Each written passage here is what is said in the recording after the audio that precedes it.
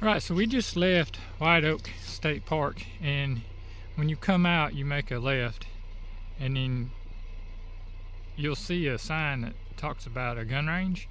Well, that's the main road right there at that stop sign. And then the gun range is immediately to the right after you turn right here. And this road right here is actually a road that we have mapped for uh, onX Off-Road.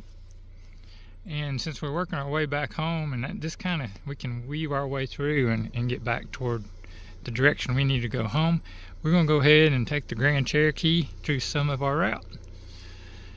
Should be fun. So when you come do this route, don't forget there's a target range here. And we're out of here.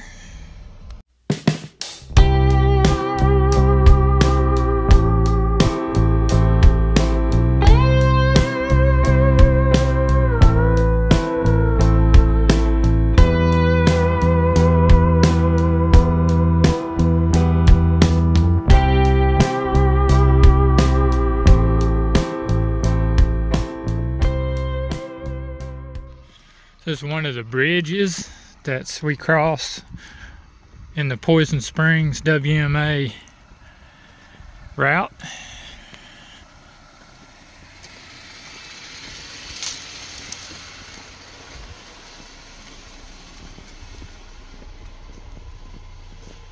Really cool spot.